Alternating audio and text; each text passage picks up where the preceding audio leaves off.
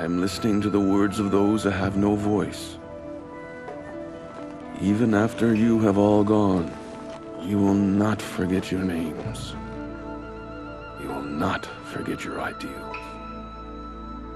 And they will help shape our future.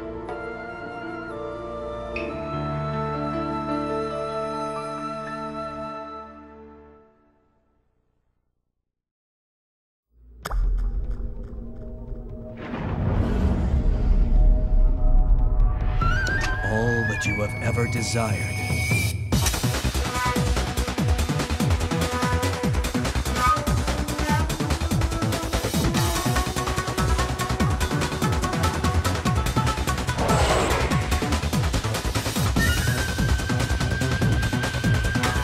Tell me, what is it that you desire of me?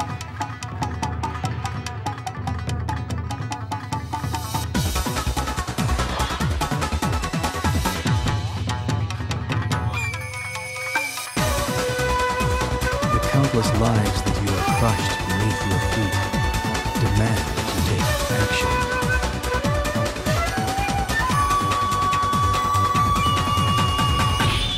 Excellent.